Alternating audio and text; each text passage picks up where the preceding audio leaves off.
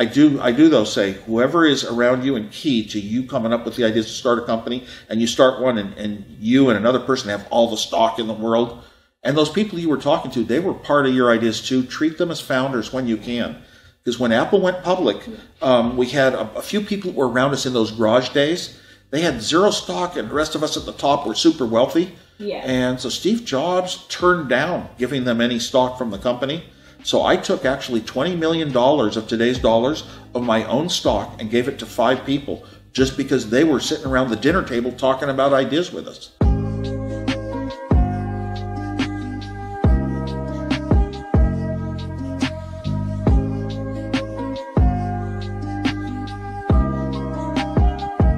Make sure you feel that what you're doing is in your heart. It's something you want to do for yourself. You want it as a part of your life or you somebody that you care very much about. Don't try to think out what would other people need? What could I build for them? Because then you aren't it's not that personal to you. You know, you aren't as motivated so uh, make make sure that you're really building that you are the market that you understand very well. Don't just go on other people will be able to use it this way and I'll sell it to them and once I'm done, I'll go and start something else. Yeah. Try to work on something startups that this is something you're going to put your life in, your heart and soul, and you hope that that company goes on forever and ever for the rest of your life and and not just oh it's a little step that I'll create yeah. it, I'll sell it and I'll make an exit. Yep, yes. absolutely. I also say that to come up with ideas, a lot of people nowadays come out of business school and they want to prepare ideas on paper. I have this new idea that nobody's done yet. And can I go raise money? Because you always need some yeah. money to start something.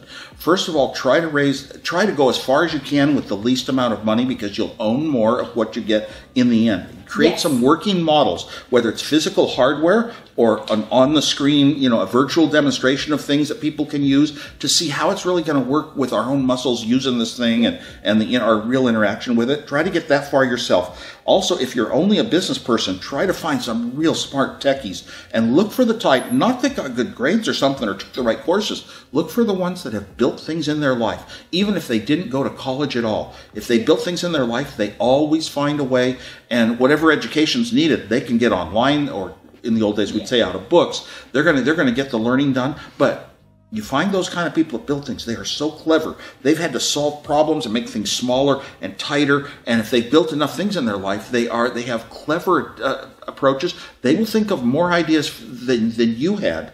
Well, you had your idea, what, what we could sell to the public. They will have some good little touches to it, ways to simplify it, make it perfect. Um, look for that kind of person that isn't just capable, but is an art an artist at what they do. What it is represents themselves and has to has to be beautiful in the eyes of another developer.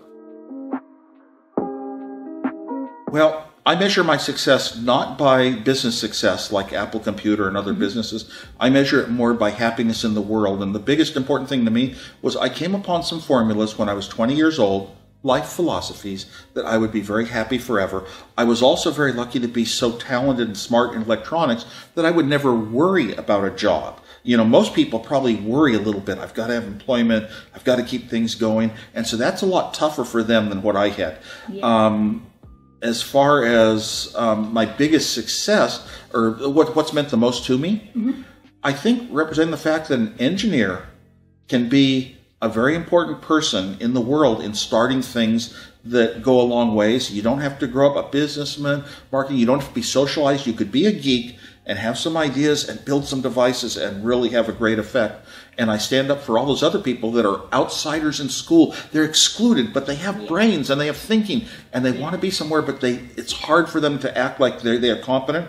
And I hope I give a lot of those people confidence that they really can, that they really have some value that's going to come out.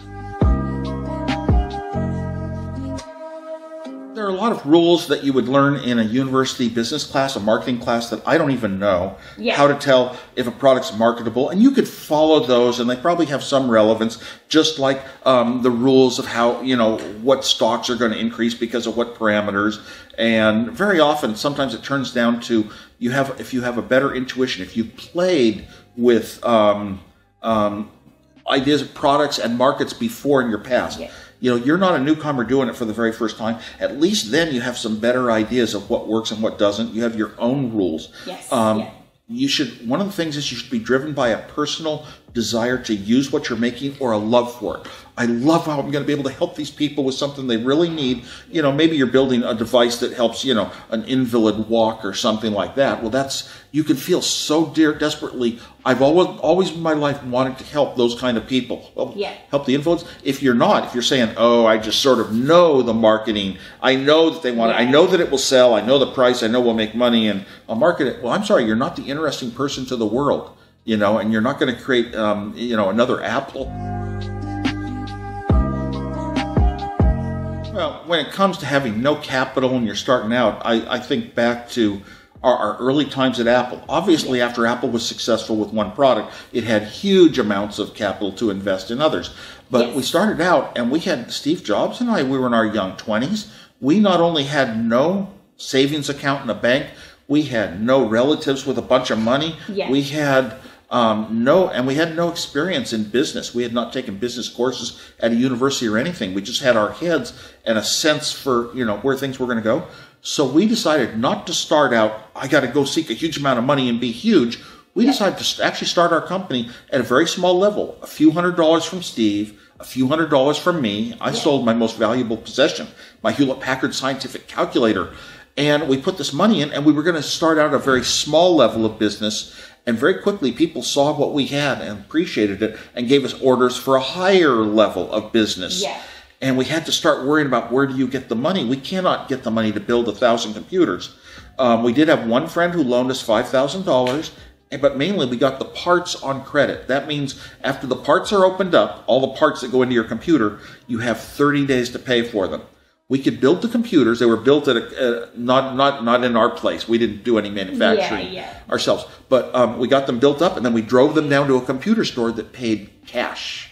So the computer store owner, Paul Terrell, took the risk. He believed that this was a market that was going to happen, Yeah. and he took the cash risk. Really, he was really the key investor in a way. It was indirectly, Yeah. but but we did. But Steve and I managed to do it with absolutely no money of our own. Now, once we got through a little bit of a level, we slowly, slowly built up a bank account to Yeah. ten thousand dollars, and that would be more money in today's dollars. Of course, that was a long time ago.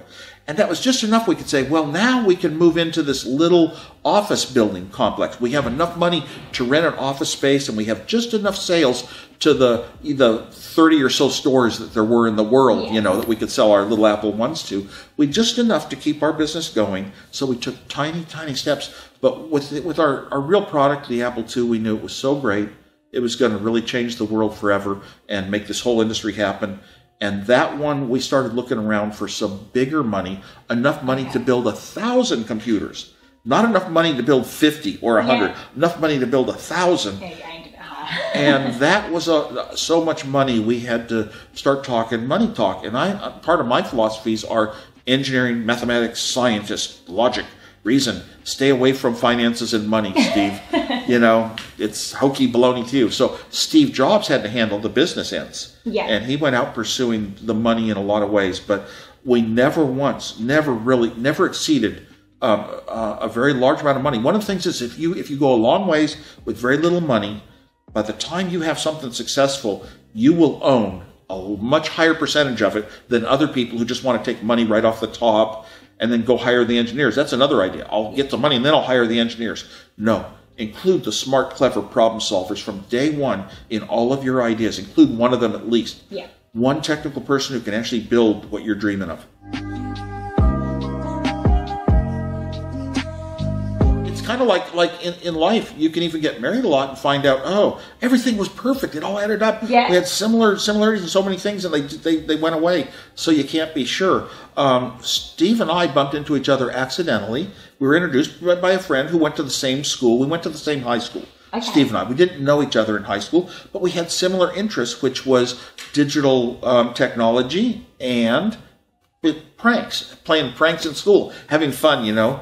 So we met, and we didn't have extremely identical backgrounds, um, but we had a lot of common interests in philosophies of life and the counterculture thinking that life could be very different, and music, words by Bob Dylan, you know, became our big thing. So we went to concerts together. So we just stumbled into each other because we were close. Look at Apple Computer. Of the first 10 people in Apple, seven of them were from the same high school when you're young and starting up and you don't have much money, you Yeah. tend to grab people around you that are friends. And a lot of them never even worked for Apple. They just what they participated in our thought process, but they didn't have to be paid money or anything at that time. I do, I do though say whoever is around you and key to you coming up with the ideas to start a company, and you start one, and, and you and another person have all the stock in the world, and those people you were talking to, they were part of your ideas too. Treat them as founders when you can, because when Apple went public, um, we had a, a few people who were around us in those garage days.